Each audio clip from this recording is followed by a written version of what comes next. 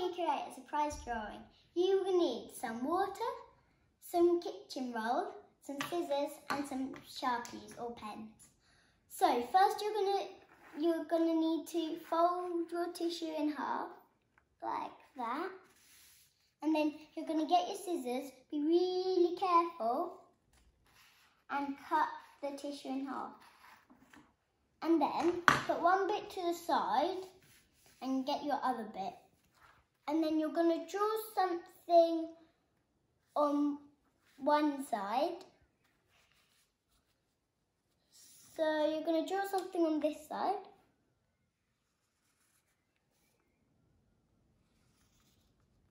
And then you're going to turn it over and you're going to draw something on this side.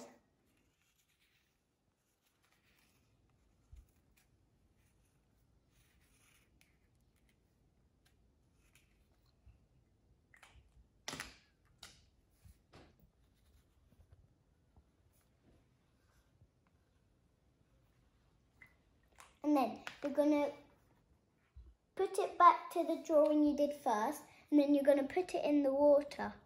And there, uh, it's your surprise drawing. But I've done a very special one. Here's one I made earlier. It's a blue Peter bed. So I'm going to dip it in the water. And there, you've got a blue Peter badge.